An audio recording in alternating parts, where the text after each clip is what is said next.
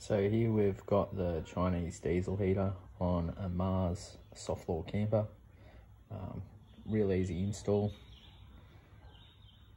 I've got a queen mattress in there. I replaced the other one with another one. So we've got a hole here with a hole saw to get the um, port in and also the controls for the main control box up there too.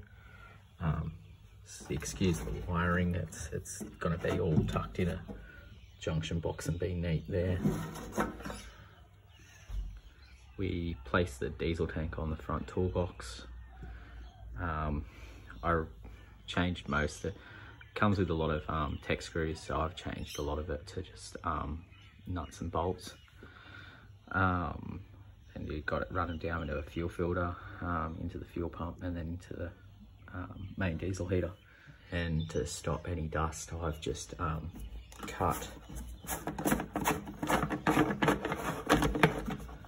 cut a piece of foam that it came with, just with the packing, and just in the front there, to stop the dust going in the tent when we're traveling.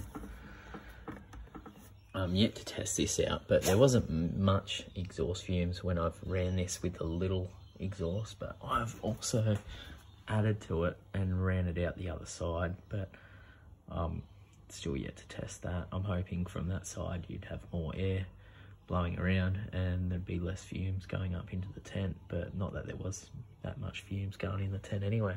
With this setup, it still lets me lift the lid um, and gives me full access of the trailer the actual install process for this was pretty easy. I had it done.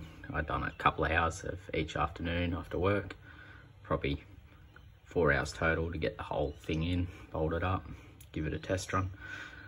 Um, so you got to cutting through the metal was probably the hardest bit for me, but if you cut through wood on a caravan or um, aluminium would be a lot easier. This is steel. Um, I burnt out the whole saws that I had and I ended up cutting it out with a Dremel. Um, yeah, so it probably took me about four hours all up to install it. Um, it draws a bit of power on the initial heat up. After that, it drops away to practically oh, between one amp and half an amp.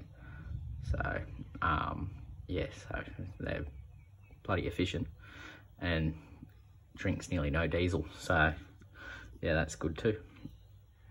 Um, how they work is um, it gets air blowing over the heater unit and then it goes up in this pipe here, blows out into the tent.